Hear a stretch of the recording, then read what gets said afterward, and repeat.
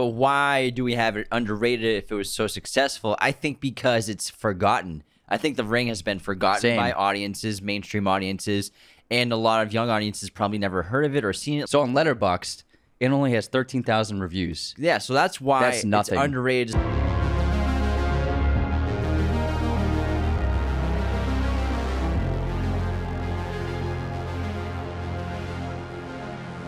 Hello, movie friends. It's spooky season.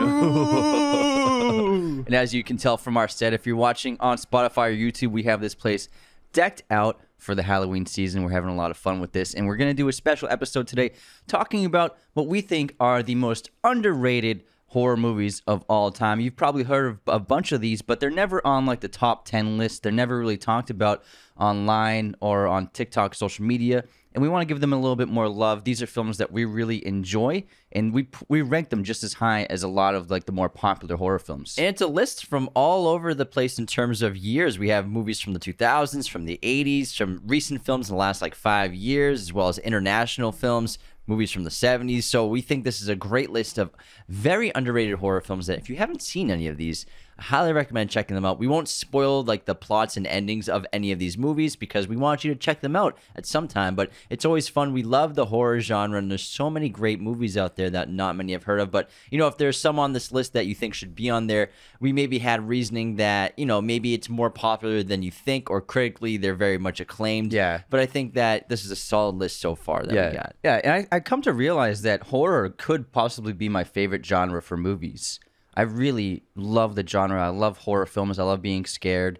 I love when filmmakers can get very creative with how they can elicit fear, the the emotion of fear in the audience, and and there's so many ways to do it. And I, it really has become one of, if not my favorite genre for film. I think it's I think it's the best genre, honestly. Between that and sci-fi, I love sci-fi, but I think horror is special, especially if you can make a great horror film. Then I think you're a great storyteller and great filmmaker. Yeah. Isn't that what Martin Scorsese says? Like, if you can make a great horror film, you're just like an exceptional director because horror is like the most visceral of all the forms of storytelling in movies. to elicit i mean to make an audience feel fear when they're in the safety of a movie theater in a comfy seat or in their home that's a special thing to make like someone jump out of their couch when they're watching a movie and on their like in their at their home so it's no other genre can do that make you react in such a way I get ex- so excited when I watch new horror movies. Like I go in knowing like I'm gonna be terrified because I scare pretty easy during movies. But I like it. It's like I like Cholula and hot sauce, and I, I put that on stuff on everything. yeah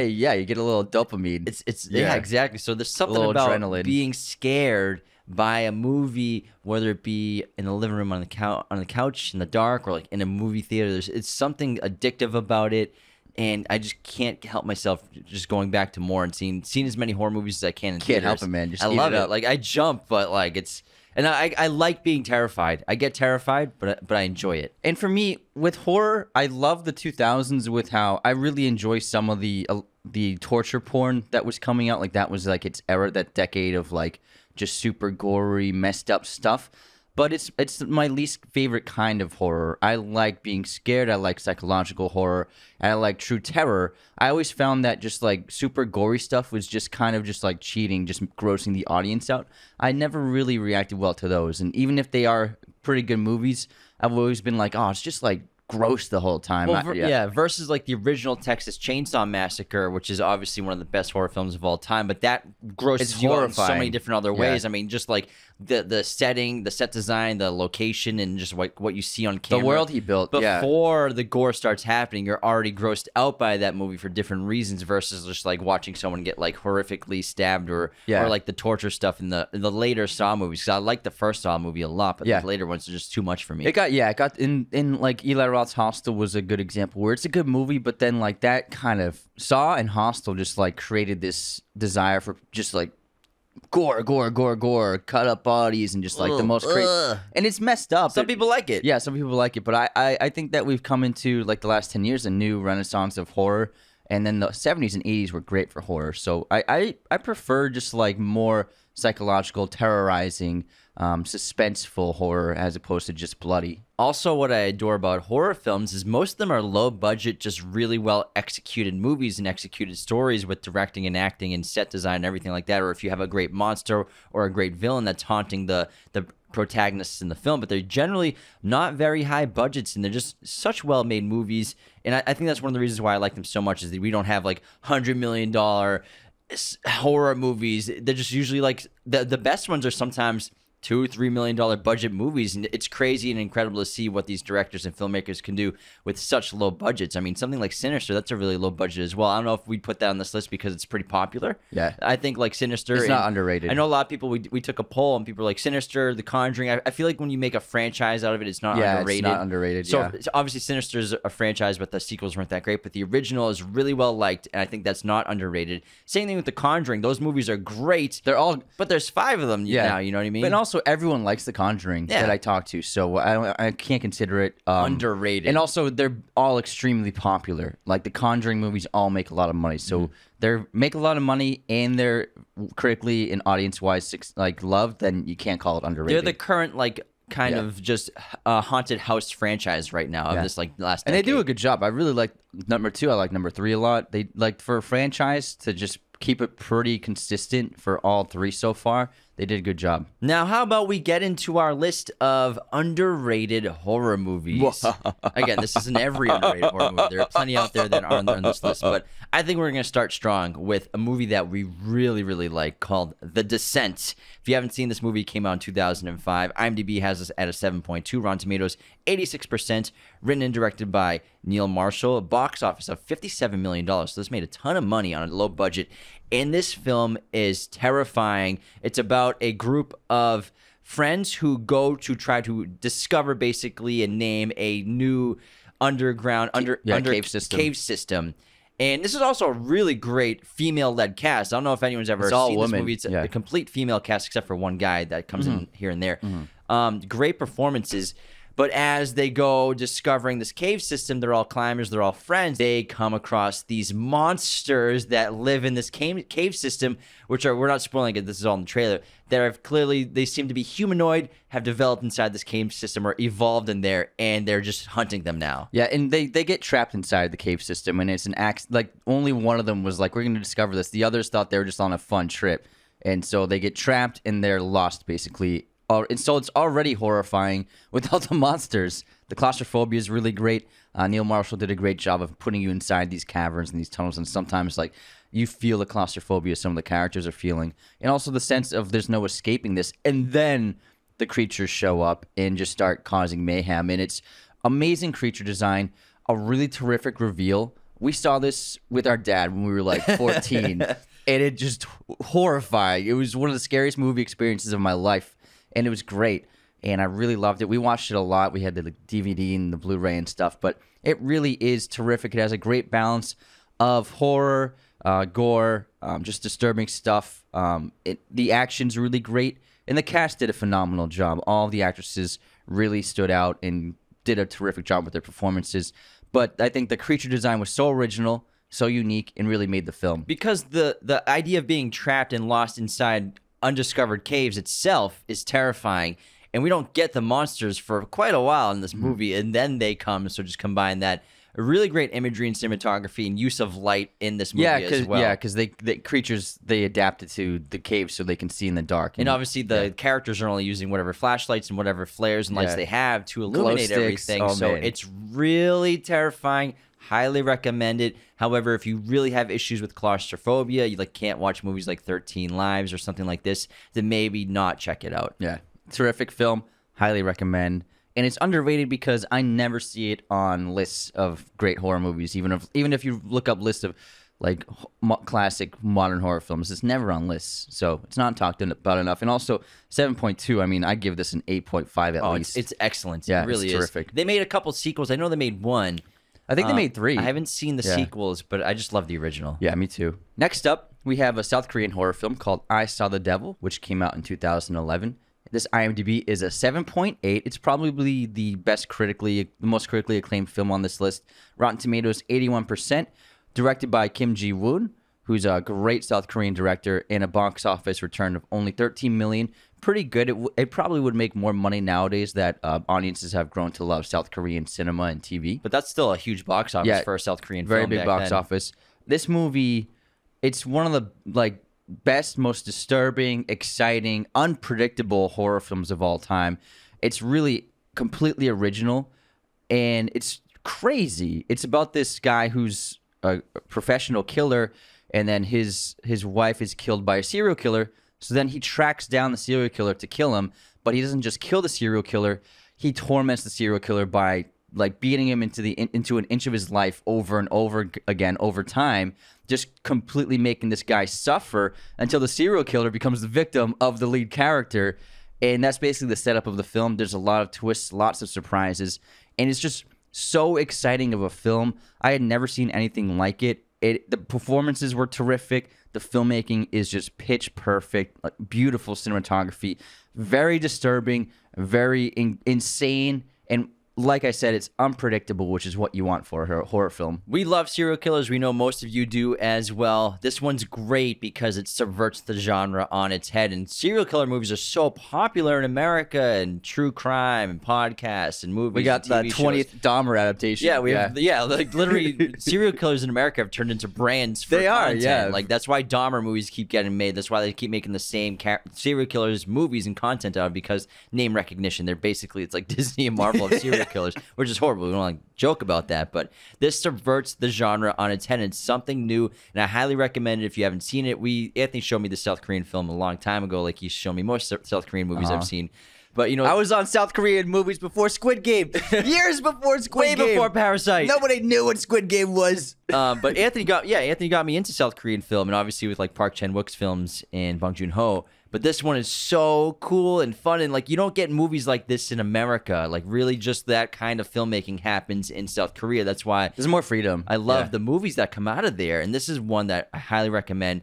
Scary, terrifying, but again, it it, it flips the serial killer genre on its You're, head. you're like laughing half the time. You're like the serial killer is the one who's being hunted Yeah. now. It's amazing. it's really amazing. It was. It's a great take on the genre. No, I'd never seen before. Because I and then sometimes you get a like a serial killer movie where like sometimes they like are the protagonist of the movie. Yeah. you get it, you understand why they're telling the story that way. But I like this one a lot. Yeah, it's it's actually a lot of fun. It's got great dark humor. Next we have The Invisible Man, which came out in 2020. This got a release right before COVID hit, and it fortunately made a good amount of money to make its money back. So it, you only got three weeks of release. So it, th- it came out three weeks later. COVID hit. but it made 144 million dollars at the box office.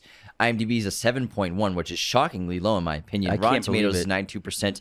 Written and directed by Leigh Whannell. It is starring Elisabeth Moss, and this movie was excellent. Anthony was like, "Dude, you gotta watch The Invisible Man. Watch The Invisible Man." It's like lockdown. I was like, "What else are you gonna do?" So we finally watched. He's like, "I'll watch it with you, man. I'll watch it again." I like I watched it two days before. it is so damn good, and I st- we still don't understand why people aren't talking React- about this movie to regularly. yeah. This was one of the best horror movies made in the last five ten years, hands down, easy. Elisabeth Moss is such a great actress. She's so good in this movie. She's literally on camera the entire time, and, and she and she just like is a presence on screen, just like when you watch *Handmaid's Tale* or any movie she's in. She's such an incredible actress. But this movie was terrifying. It's a a modern interpretation of the Invisible Man, and it's really really ingenious in a lot of ways. But also at the same time.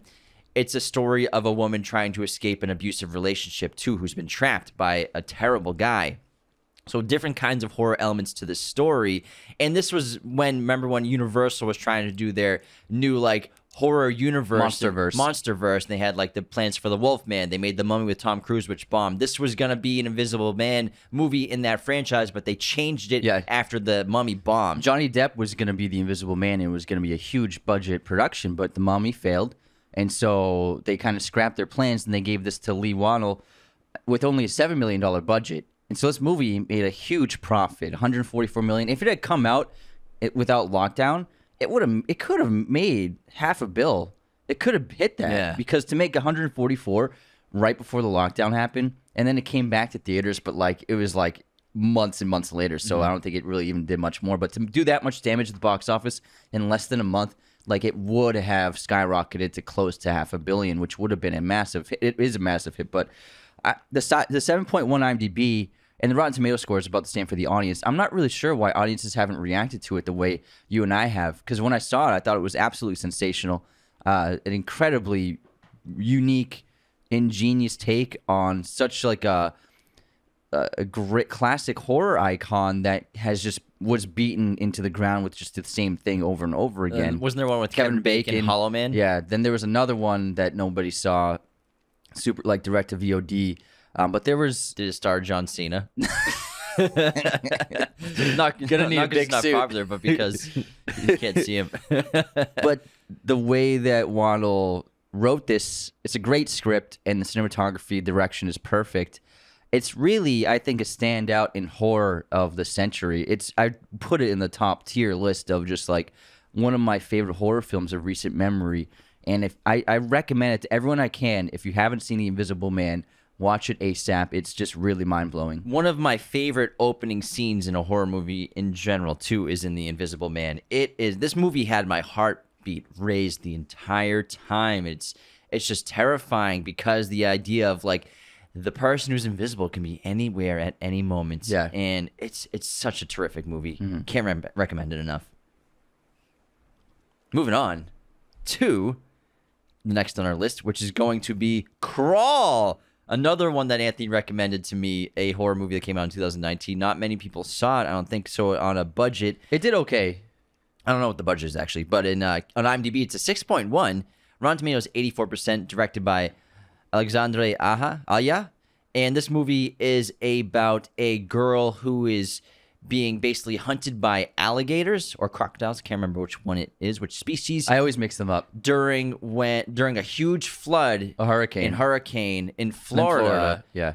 and also there's like a levee that breaks too. So she's in a situation where she's basically surrounded by alligators and trying to escape and make it home. Yeah, and so the sorry, I couldn't, I didn't look up the box office for this one. It made ninety million against a budget of thirteen. Oh, that's really so good. very successful. Um, but also, the IMDb is only a six point one, and I find I, I it's like mind blowing because I thought this movie was really like a pitch perfect horror film from start to finish. A great balanced structure for the storytelling. Barry Pepper is a supporting character. That's right, yeah. Uh, Kaya Scodelario is the the lead actress, and she did a phenomenal job. But the alligators, the CGI is really well done for such a small budget, uh, and they the filmmakers did a great job of keeping their presence hidden and covered under the water as much as they could. And the alligator attacks are shocking. Like this is a movie that I watched and I screamed a couple of times, like "Holy shit!" Like I was like, "Oh my god, this is insane!" And it's just so invigorating. A movie like this, it gets your heart racing, uh, and the, the suspense and the thrills. Like it's basically like an obstacle course of she's sure her and her father are trapped in their big home, which is flooding, and alligators are getting inside. And it's about them trying to escape the neighborhood, which is completely just overrun with alligators all over the place. And they did a terrific job for such a small budget. It feels bigger than it is, and the the scares, the thrills, the suspense. Uh, it's just firing on all cylinders, and I really love it. I think I think it was one of the best movies of that year, and so I'm shocked at the 6.1 IMDb. It's pretty low for audience score. There's a great father daughter relationship Yeah. in this as well. And the character, the lead character, she's a great swimmer and an athlete. So Mm-hmm. she really holds her own in terms of trying to battle the alligators and crocodiles and escape them and everything like that. So it's a really great push and pull of forces between her and the alligators. It is terrifying Yeah. because there's alligators everywhere. it's so good. Yeah, it's great. I love on. it. Next up, we have probably the most successful film on this list. We have The Ring, which came out in 2002, has an IMDb of only 7.1 and a Rotten Tomato score of 71, so it exactly matches the critic rating. Uh, directed by the great director Gore Verbinski, with a box office of 248 million. Now we grew up with this film. It's an, it's kind of an old. It's crazy to think that this movie is old now. It's technically yeah, classic. Yeah, it's, o- classic it's over 20 years old, so I guess you can call it a classic. But Naomi Watts stars in this film, and it was a cultural phenomenon. Like even like Scary Movie, they centered one of their movies entirely around the plot of this. It was like the struck. It was like the baseline plot of the Scary Movie three Yeah. It's an amazing film. It's it's adapted from a Japanese uh, fairy tale about the, a girl who lives in a well. Um, it's horrifying, and it's if you you've probably seen or heard of it. Like it's the the, the tape. If you watch this VHS tape, the VHS. Oh my god, Urban legend. the VHS tape. You die seven days later, inexplicably. And Gore Verbinski proved himself to be a terrific filmmaker. He ended up making the first three Pirates movies, which are all just awesome action adventure movies. And I love this film. Hans Zimmer made the score, and it's really terrific. It's an amazing horror score. But Naomi Watts sells the film. It's an early role for her. It really like this. She made Mulholland Drive, and then this like a year later, and it she really blew up in Hollywood thanks to those two. Very talented actress.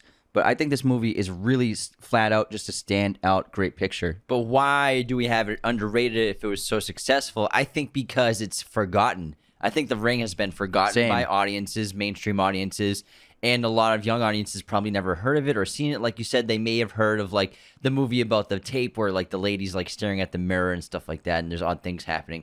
I think because this movie has just disappeared from the zeitgeist. Oh my compared to God. how culturally relevant it was. Listen to this. So on Letterboxd, it only has thirteen thousand reviews. Yeah, so that's why That's it's nothing. underrated despite it was very successful. And it's not like a classic horror film that younger people know and love like The Shining or The Exorcist, Texas Chainsaw Massacre, but it's arguably still just very good and I think because it's just been lost in the ether of movies that Yeah. it's underrated now. And also just the the average ratings. There's a 3.3 on Letterboxd, 7.1 on IMDb. So audiences they like it, but it's not really that much of like a loved film. I mm. I really love the film. I think it's terrific. It's wholly original too. It's a great idea Yeah. compared to most mar- most modern contemporary horror films. Obviously, we're in a great boom, but what happens also in a boom is you get a lot of mediocre ones Yeah. as well as the exceptional ones that we get. So I think this was just a great original idea in the 2000s that just helped propel horror. It, it helped bring horror back to life. I think so too. It, was very original, and the the death scenes are terrifying. And there's the movie just has so much dread. It feels because sh you're waiting for like, is she gonna die? Is she really gonna die? Can she stop it from happening? And it's just like you can feel that as an audience member. And I remember we've I've seen this a lot, and still when I watched it, I feel that dread, and it's just all around a great movie. Moving on to Audition. This came out in 1999. IMDb has this as 7.1, Rotten Tomatoes 83%, directed by Takashi Miike. Box office of $131,000. Again, another seven point one IMDb. So it's odd. this movie I saw it when I was in high school and I was like, oh my God, it's one of the craziest movies I've ever seen. It's about a man who um, works within a casting company for film production and his wife recently passed away. He has a son and he's struggling to move on and he's struggling to like, he's very depressed. And then his, his friend who works with the company with him comes, up with an idea of, uh, what if we do a casting process for a film, but we're really casting like a possible uh, partner for you?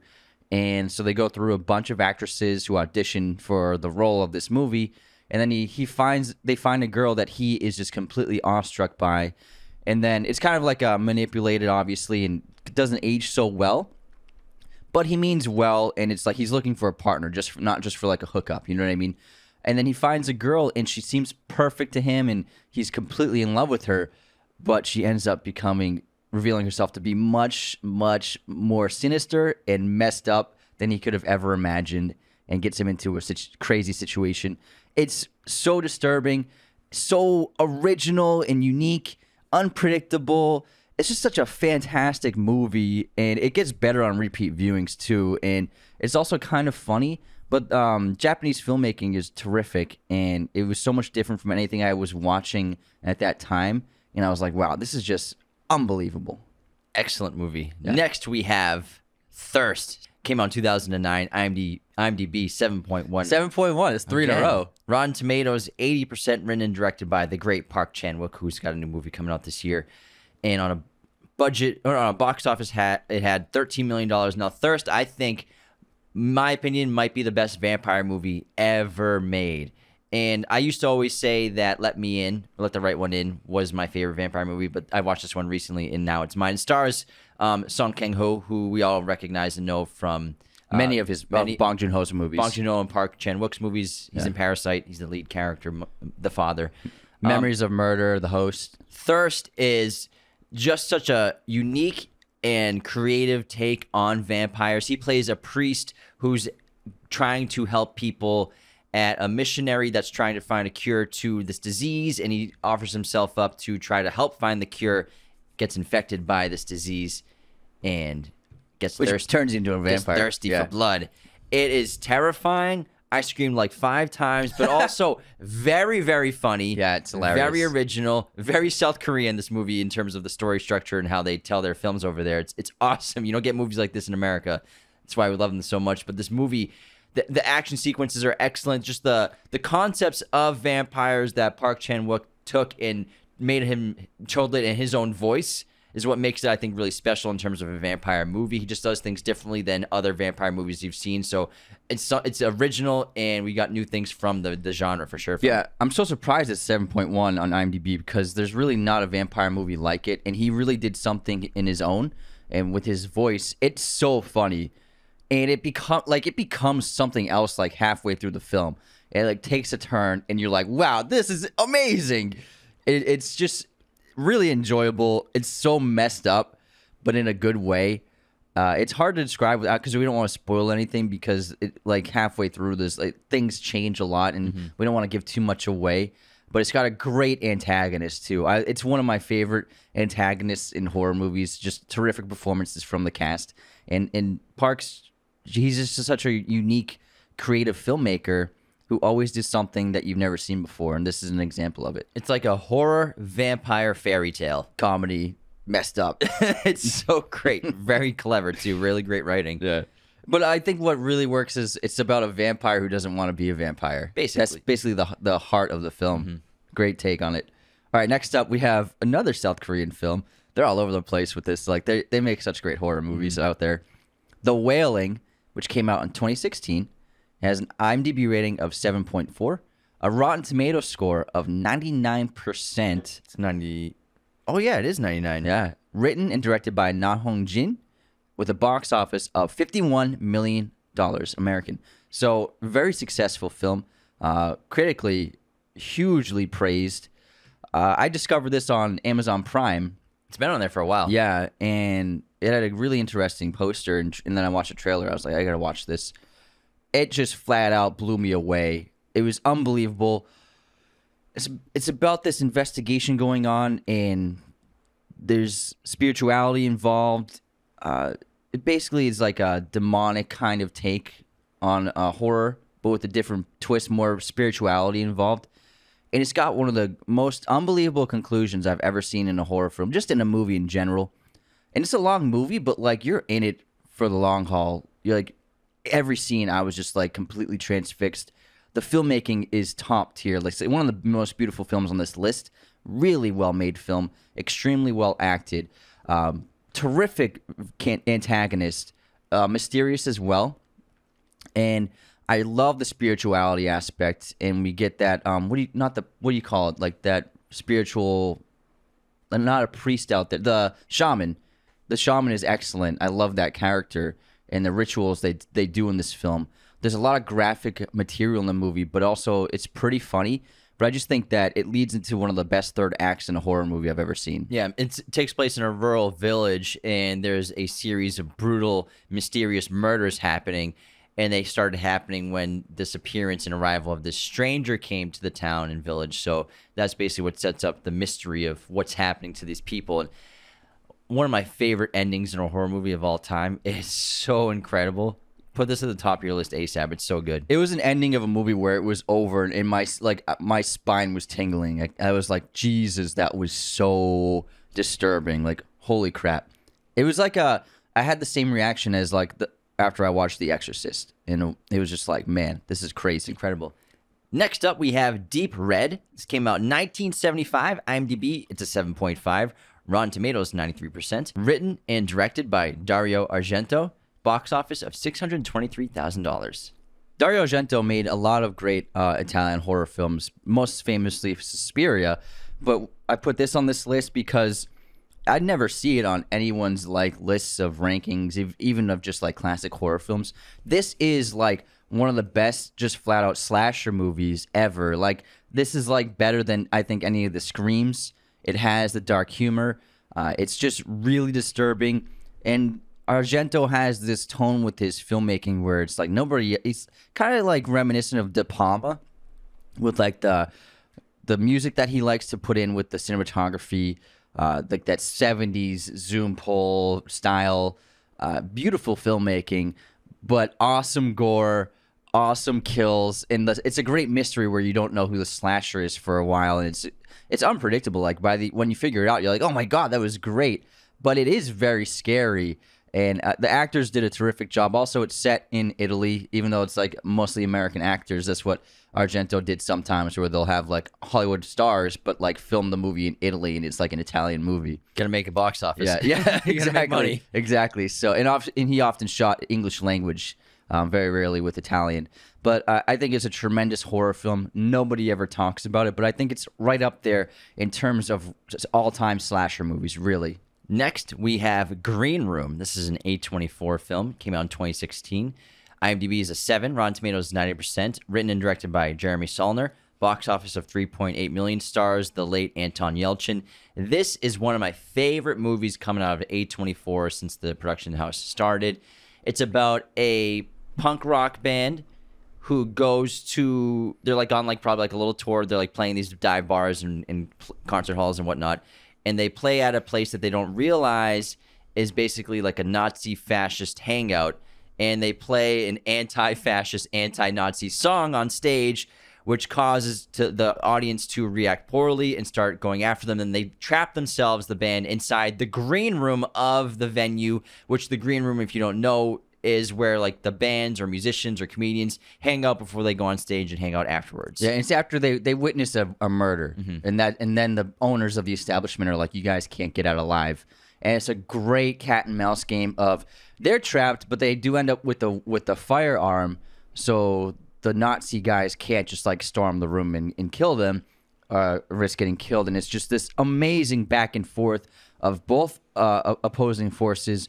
Uh, one force is trying to kill the others, and the others and the other force is trying to escape. Patrick Stewart is terrific in his role as the leader of this neo-Nazi fascist group. Hadn't seen him like that before. He showed a lot of range and talent that you rarely see with the big budget movies he's often in. Uh, but this movie is terrifying. It's messed up. and it's so well written. It's just a great script. Amazing ending. I love the ending. And and uh, Imogen Poots is also in this. She's terrific. Her and Anton, uh, they were in a, a few movies together, Yeah, like Fright Night yeah. and another one as well. Uh, they're a great pair. But man, this movie is flat out um, a fun time. It's really, really excellent. All right, you want to do one more, then we'll go to our intermission. Let's do it. Take it away, bro. Next up, we have Happy Death Day, which came out in 2017. It has a 6.6 rating on IMDb and a 71% Rotten Tomato score. On a modest budget, uh, made $125 million for Blumhouse. This was directed by Christopher Landon. Uh, Happy Death Day is basically Groundhog Day mixed with a slasher movie. And it sounds cheesy, and I didn't want to watch it because I was like, what a ripoff. And then I finally watched it, and I was like, this movie's amazing. It's funny, the horror's great, it's really entertaining, a lot of energy, and the time jump the time loop really works. And the lead actress is terrific. She sells the movie. She's very infectious and charming. Uh, great range with the humor and the horror. And the villain's a lot of fun. Uh, it's set on a college campus so there's a lot of uh, ability to have that kind of college raunchy humor but it's not like it's not like american pie. It's more it's it's not as dirty but it's still a lot of fun. I love the film, and I think if you haven't seen it, you could definitely enjoy the film as well. With the comedy and horror, it's a hard balance to to meet, but the filmmakers did it. It's very much like source code too, where she's Yeah. trying to figure out like, all right, The I'm in a loop. yeah. I have to find out who the killer is. I suspect everybody. I can't trust anybody, but uh-huh. she keeps going back into it, trying to figure it out after she accepts what kind of fate and, and loop she's in. Yeah, and it's, funny. really great. It's funny because no matter what she does, the killer always finds her. Yeah. it's amazing. I love it. Or she just gets killed by accident, like getting hit by a truck or something. It's yeah, it's super funny, Yeah. and also like Edge of Tomorrow, really. Yeah, Similar yeah, too, yeah, Like when yeah. he's trying to escape the base all those times. yeah, it's a it's a lot of trying fun. to figure out the rules, trying to memorize everything. Mm-hmm. It's it's the same thing you've seen, but completely different at the same time. A lot of fun. All right, let's head into our intermission, everybody. Let's and then we'll get it. back to more underrated horror movies. Before we continue, the best way to support Raiders of the Lost podcast is to tell your friends and family members about us if they love movies and TV. Use our coupon codes and become a patron at patreon.com slash Raiders of the Lost podcast for as little as $2 Every patron has access to a weekly bonus episode. $10, $25, and $100 tier patrons get access to our Discord where we interact with you and have watch parties. $25 and $100 tier patrons get a personal episode. You pick the topic, we'll do it for you. Also, $100 tier patrons get their own personal watch party. You get to be an executive producer at the end of every main episode. And after three months of being in this tier, you get to come on the show for a fun guest segment. Patreon allows us to do the show full time, so thank you so much for your support. Raiders of the Lost podcast is brought to you by our good friends at manscaped.com. Use our coupon code Raiders of the Lost at checkout. You'll get 20% off and free shipping worldwide from manscaped.com. Get their Lawnmower 4.0 groomer. It's the ultimate accessory to your grooming needs. Has a 7,000 RPM motor. It's skin safe to the touch, so you won't nick anything down there. It's waterproof, has a built in light, wireless charger. You can use this thing in the shower in the dark. It's incredible. Manscaped's Boxer Briefs 2.0 just came out this year as well. And my goodness, are they comfortable? They come in really cool designs as well, but they got a little extra space for your junk, so you'll be very comfortable all day long wearing their briefs. Manscaped also carries two in one shampoo, conditioner, body wash, deodorant. None of their products are used with any parabens or bad ingredients. They're made in the USA. Highly recommend getting their stuff. It's gluten free and vegan as well. Go to manscaped.com, use our coupon code Raiders of the Lost at checkout. You'll get 20% off and free shipping worldwide. Our other amazing sponsor is movieposters.com. Use our special promo code Raiders10 to get 10% off your order today. Movieposters.com has a gigantic selection of pretty much every movie and TV show imaginable in their poster library, as well as all sorts of options for sizes, framing, and even backlighting for your poster needs. So, whatever your needs are, movieposters.com has you covered. We have a bunch of these posters on our set, as well as decorating our home and bedrooms. They are high quality, the best money can pay for, while still being very affordable. Again, head on over to movieposters.com and use our promo code Raiders10 to get 10% off your order today. Now, let's head into our intermission and begin with the movie quote competition. Let's hear it. This one's easy, but it's it's great. I love it so much. My mom and dad are gonna be so mad at me. You're wearing this shirt. oh yeah. Scream.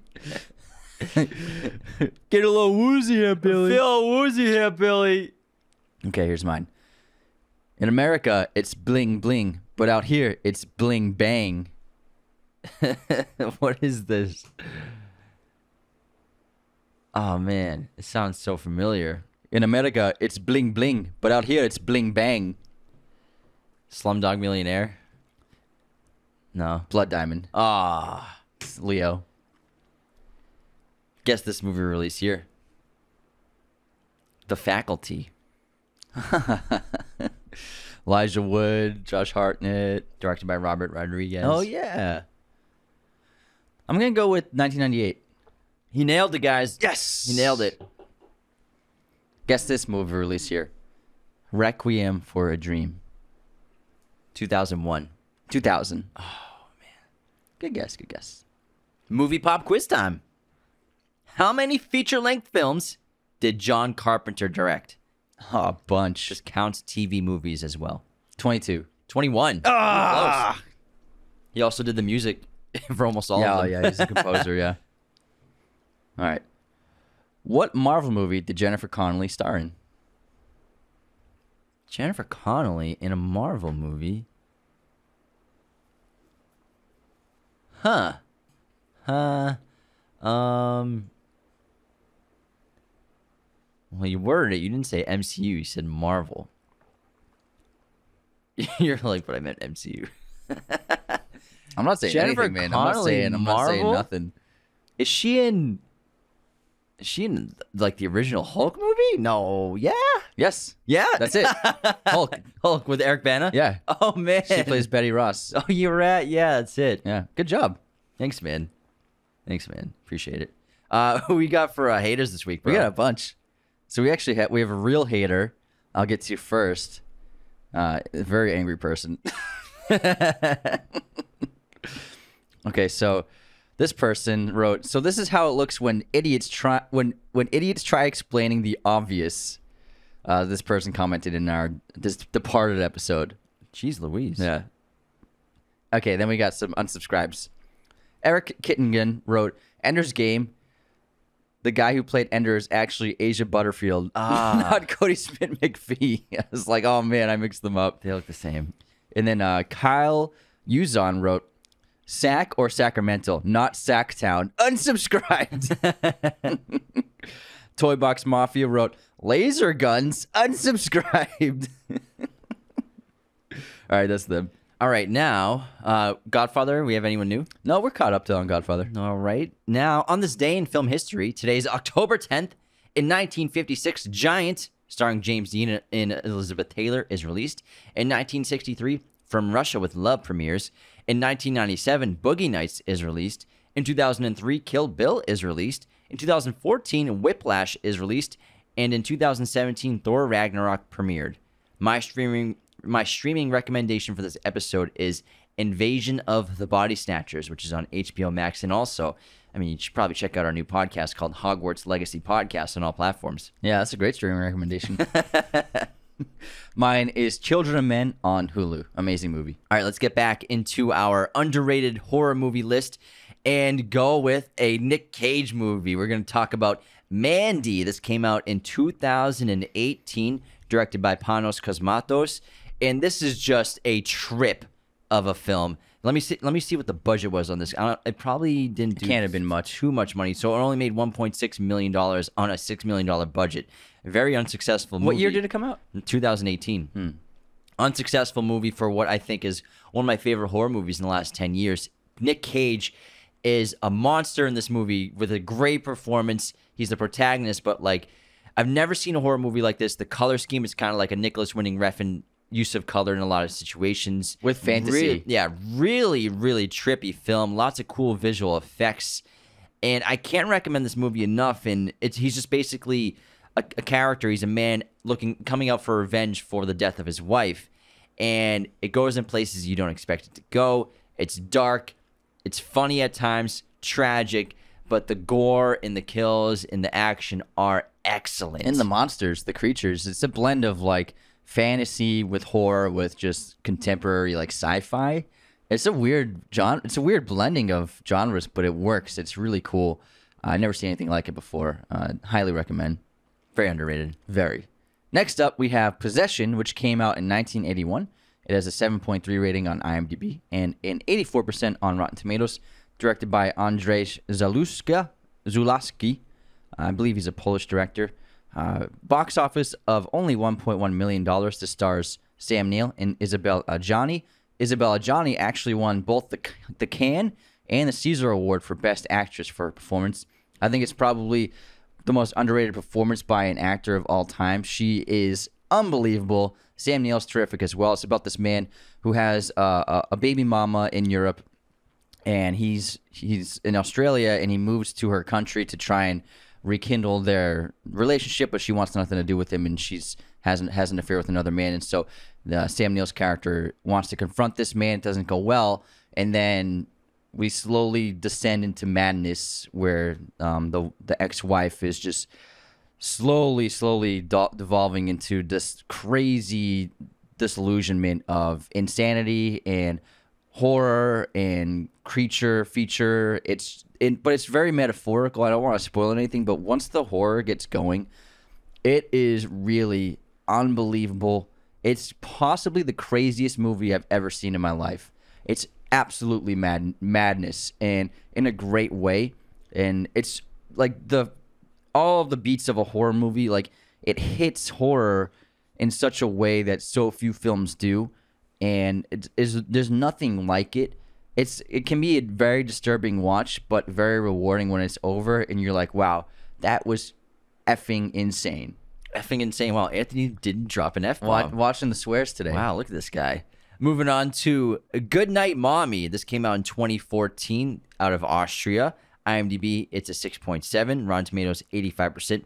Written and directed by Veronika Franz. Box office of 2.2 million. This just got remade into a medio- mediocre Hollywood remake. I recommend Amazon. I recommend just watching the original. It is an exceptional horror film. It's about twin boys, might be the best twin movie of all time. Twinning. Twin boys whose mother comes home from getting facial reconstructive surgery. Her face is covered in bandages, but her demeanor and actions Personality. personality have changed in their opinion and in their perception. They think that maybe she's an imposter or she's not who she says she is. Such a great mystery and intriguing and terrifying, an incredible third act. Cannot recommend this movie enough. Yeah, it's a wild movie, and you've never seen anything like it before. It's a really brilliant concept, and the kid actors did a very good job, and then the lead actress did a phenomenal job. She's excellent, and it's I don't want we don't want to spoil anything, but it has an amazing twist, and when you find out what's really going on, you're like, wow, that was great, really great movie. Next up, we have Jeepers Creepers, which came out in 2001. Wow. It has a 6 uh, 6.2 on IMDb and a 46% on Rotten Tomatoes, directed by Victor Salva with a box office of 60 million. So very healthy box office on the very low budget it had. But critics and audiences don't really like this film. I enjoy this film. I think it's really cool. I think the the creature design is awesome. Uh, really creeper. the creeper, really original monster for a movie. I like his outfit and uh, the the actors did a good job. Uh, Justin Long's in this movie. It's The original? yeah, the original. It was like Dodgeball and this I think Oh, came out in the same year. Uh, it's really cool. It's I like the concept. I like how small in scale it is, where it's just basically three characters. Uh, very reminiscent of films like Spielberg's Duel, and uh, that's all you really need sometimes. Uh, it's a really cool horror film. I think it's good. it's just a big chase movie at the same time. You know, they discover this being in the basement of a church or wherever it was, and Yeah. it gets escaped, and it, they're on there. It's prey. They've been selected as the prey, and they're just on the run for the from this being, this monster. It's really terrifying. Yeah. I, I love chase movies. I think they're really cool, especially the original ones. So I think it's a good time. It's like a road rage movie with a monster. Yeah, yeah. That's why it's it's very reminiscent of of Duel. That's because that whole movie is just chase. Scary stuff. This was on TV a lot when we were young. We too. watched it all the time. Yeah. We watched a lot. you say that about so many movies. We, did- we watched a lot of movies growing up. He's always like, "Oh yeah, we watch this every day."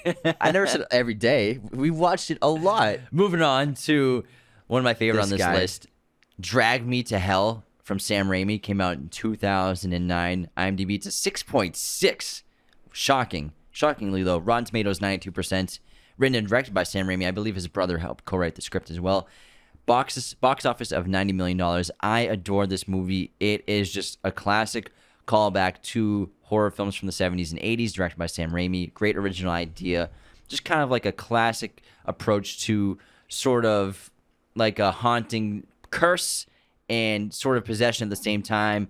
I love it so much. It's got a great, and I think it might be my favorite ending in a movie of all time. It's up there. It's up there. It really there. is. Great acting. Justin Long's in this and well back. Yeah, yeah. Back to back Justin Long movies. but I think it's just wholly original and fun and very entertaining, funny as well. And the cast does a great job. But I just, I really, really enjoy this movie so And much. And it's really scary. And it's, it's terrifying. And but it's very great- gross, Great too. mystery as yeah. well. Yeah, and yeah, I love the movie. Great music too, as well. Uh, it's a, it's an awesome film, and actually, like it was the last movie Sam Raimi made until Doctor Strange. He took a huge break, but um, man, it's good. Yeah, Uh, this this woman gets a curse put on her, Yeah. and she's trying to get rid of it or pass it off to somebody else if she can.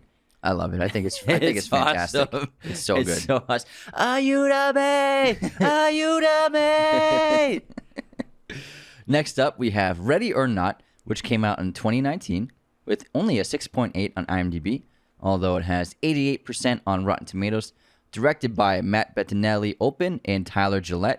This had a box office of $58 million, so very healthy box office for its small budget. yeah, well balanced diet. Yeah, it's, it's gonna have a good balance, healthy box office diet. It's about this woman who is attending the engagement party for her and her future husband, and they're having the party at her fiance's family No, it's home. the day after the wedding. The day after the wedding. Sorry, Yeah, she's wearing the the, wedding gown. night. Yeah, Wedding wedding, night. night. Wedding night. Night. I'm sorry, and um, she's having. he didn't watch this all the Yeah, when yeah. he was a kid. Yeah, I've only seen it twice. but they're uh, having a, a, a wedding party with his family, and then the family reveals that they do this traditional hide and seek game, and it sounds like kind of cheesy, but Well, that's not the traditional. The traditional game is you have to they have to do this thing that pick selects the a game, game, pick the game, yeah. and the ready and the hide and seek is the worst option. Yeah, the worst Usually option, it's yeah. something silly. Yeah, but then she learns to discover that hide and seek is to the death, and if they find you, they're gonna kill you. And so she has to basically maneuver through this labyrinth of a home while evading the members of her fiance's family who are trying to kill her. It's really terrific. It's pretty wild. Yeah. I found it excellent. Really enjoyed it. Great ending too. It's Really very funny. Super entertaining. Yeah. Never seen anything like it before. Wholly original. Love it so much. And Samara Weaving, she's great. She's gonna blow up uh, this year, next year. She's in Babylon, right? yeah. Next up, we have a film from a director who you're all starting to hear about, Ti West. But if you've been listening to the show for a while, you know we've been talking about this guy for quite a while and how underrated his horror movies are, especially The House of the Devil. This came out in 2009. IMDb is 6.3.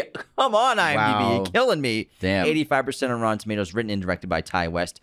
Box office of only $100,000.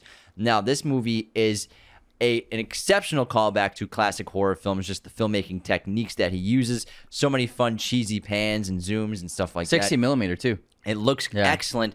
Really great music, but in the energy of this film is awesome. It's about this girl who's in college. takes place in I think the 1970s or 80s. 70s, yeah. 1970s, and she's trying to live. She's trying to find an apartment to live off campus. She doesn't have enough money, so she takes this babysitting job, this mysterious babysitting job, at this house in the middle of nowhere.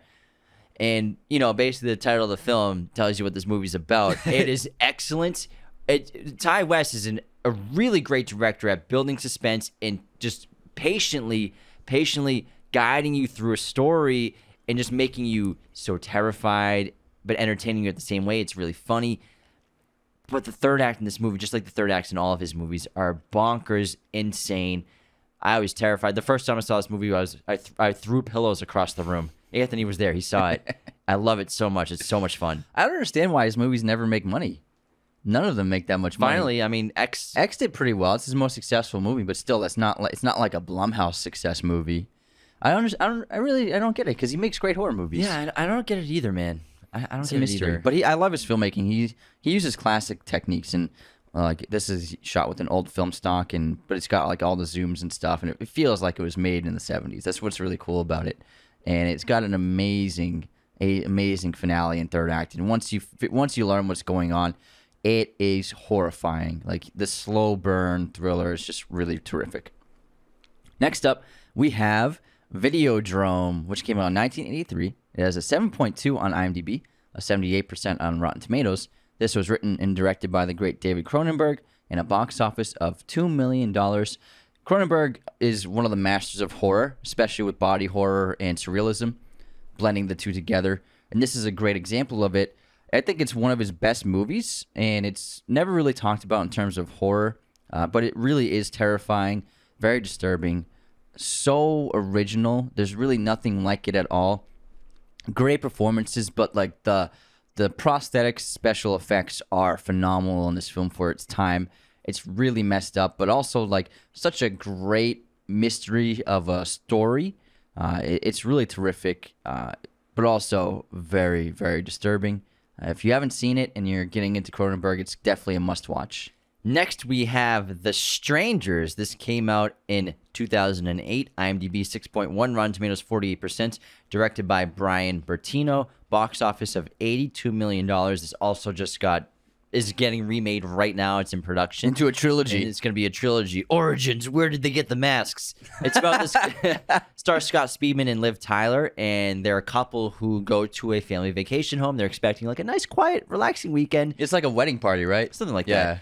And however, they get the exact opposite when home intruders start to enter their life and Torment their home them, and torment them and torture them. And it's a terrifying movie. It's really scary. Um, highly recommend if you haven't seen it. The original, obviously, is I think probably would be the best. I'm curious to see what the the new one will be like. Um, but I mean, how many movies can you make about uh, Home home, invaders and make a trilogy of it? We'll see. I'm sure Yeah. they got some kind of ideas. But you know, it, I think it's just a great horror movie from the 2000s. Yeah, I think it's really good, uh, and people really like it. I keep hearing from people like it's one of their favorite horror films. Um, so it's very r- low rating. Doesn't seem to be in line with like what I've seen and talked to people about. So I think they get, did a good job with this film on its low budget. Uh, really good thrills, uh, pretty good scares. I would say on this list it's my least favorite on this entire list, though. I'm not a huge, huge fan of it. I got to be honest. No, yeah, I agree, but I think it's underrated. Yeah. and it actually just reminded me of another horror movie that I think should be on this list. What? Funny Games. Oh, So Funny Games came out in 1997, directed by Michael Haneke. He also made the Hollywood remake that he did himself, and which came out in like the 2000s, I think, starring Yeah, Michael Pitt. 2007 or Now, something. yeah. Funny Games is also a home invasion movie, but I think it's just so well It's made. amazing. How It's- did we forget this one? Yeah, it's uh, where was it German Austrian. or is it French? He's um, it's Austrian or well, he actually made Oh, it's Austrian. Yeah, yeah. Well, he's Austrian. He made a lot of French movies. Makes That's a lot why, of French yeah. movies as well. So it can. He does either country. Okay, so it's an Austrian horror film. This movie's excellent. It's about these two guys who just casually come into the lives of a family again on like a vacation in a vacation home. But it's better than The Strangers. I think it might be Oh, one of the best movies on this list. It's really terrifying, psychological. This, this these two guys are just breaking this family down mentally, and I don't want to spoil what happens in the movie, but you got to check it out. There's some fun things like fourth wall breaks and, and stuff like that Yeah, he was doing fourth wall breaks before it was popular. and the tone is all over the Yeah. place in like the best ways possible. So I can't recommend Funny Games enough. it's one of the yeah, the it's one of the best on this list. I, I love it. The the remake's really good too. He, he, did, a great, job. It's kind yeah. of sort of like a shot for shot. He did a really good job remaking like a lot of the same locations in terms of the set and the house design. Yeah, which it's is really cool. interesting, yeah. but cannot recommend Funny Games enough. I love that movie. Great call, man. Great call. Next up, we have The Woman in Black, which came out in 2012 with a 6.4 on IMDb and a 66% on Rotten Tomatoes, directed by James Watkins, with a huge box office of 127 million dollars with a budget of 10 million. This was Radcliffe's big movie after Harry Potter. Showed audiences that he could do other films. Uh, I, I love haunted house movies when they're done well. This is one of them. Great cinematography, great music. Uh, Daniel Radcliffe is terrific in the film. Aw- awesome cast. Um, I think this movie's really good, very underrated. I think the ratings are way too low for it. I would give this at least like a, a 7.5 for a rating or close to an 8. Great atmosphere, awesome mystery script, but it's just like for haunted house, it it does everything you want for that genre. No, yeah, I agree 100%. Yeah. And I think that Radcliffe, he needed this kind of movie, do something completely different from Harry Potter. And I think he fits really well in period pieces. I, He I- looks good in period clothing. Yeah, I think you should do yeah. more of them too. I, I think it works, and I, I think it's a great mystery. Again, like you said, haunted house movies are, are excellent. Moving on to House, this came out in 1990, 1977, IMDb 77.3, Rotten Tomatoes is a 91%, directed by Nobuhiko Obayashi. Box office is an unknown, and this is kind of just like a, tr- a wild, silly, great horror movie about this Vietnam War vet returns to his boyhood home, and he's being haunted by ghouls and ghosts. It's the crazy. It's one of the craziest movies ever, and the surrealist filmmaking. It was made at the time on one of the biggest sets ever produced in that country because it's all just amazing practical filmmaking and cinematography. Special effects is insane. It's so messed up and disturbing, and but the surrealist filmmaking is like, wow, this is extravagant and so bizarre, but it's really fun and horrifying, very scary. Super super trippy. It feels like you're like you're tripping out on acid just from watching it. Uh, highly recommend it. It's a lot of fun.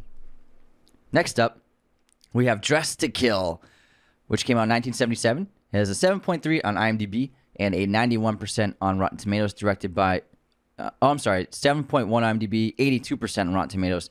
Written directed by the great brian de palma with a good box office of $31 million this movie it's a slasher flick but also a mystery. Um, terrific performances. Nancy allen michael caine amazing cinematography fantastic synthy score. I love de palma. Uh, nobody makes movies like he did. Uh, this is like up there top tier slasher flick. Super fun and you never see michael caine like this before it's really fantastic i love the movie it's very scary uh, but also very fun at the same time Michael Caine. michael caine Next up, we have Killer Klowns from Outer Space. Came out in 1988 for Donnie.